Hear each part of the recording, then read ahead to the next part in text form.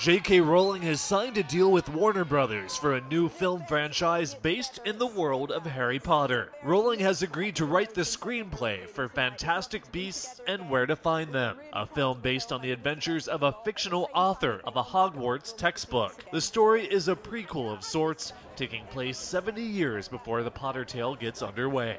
Shirley MacLaine has been selected as a recipient of the 2013 Kennedy Center Honors, set to be handed out in December. The John F. Kennedy Center for the Performing Arts announced their selections on Thursday. In addition to MacLaine, the center will also recognize Billy Joel, Carlos Santana, Herbie Hancock, and opera singer Martina Arroyo.